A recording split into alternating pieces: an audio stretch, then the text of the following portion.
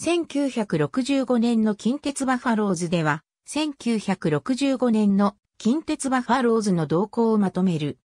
この年の近鉄バファローズは岩本義行監督の1年目のシーズンである。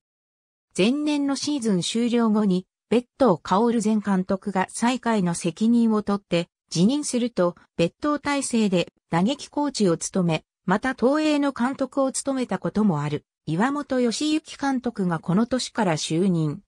岩本新監督は、チーム若返りのため関根純三を巨人へ、首位打者経験者のジャック・ブルームフィールドを南下へ、それぞれ放出。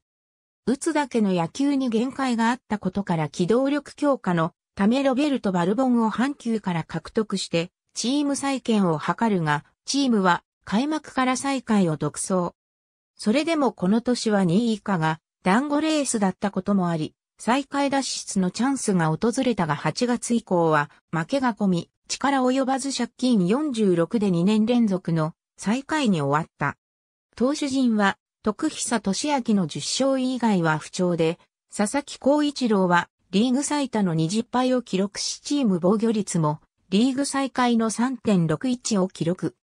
打撃陣は土井正宏が24本塁打を打って4番の役目を果たしたが、切り込み隊長として期待されたバルボンが11、盗塁に終わり、往年の力を発揮できず本塁が、盗塁ともにリーグ再開。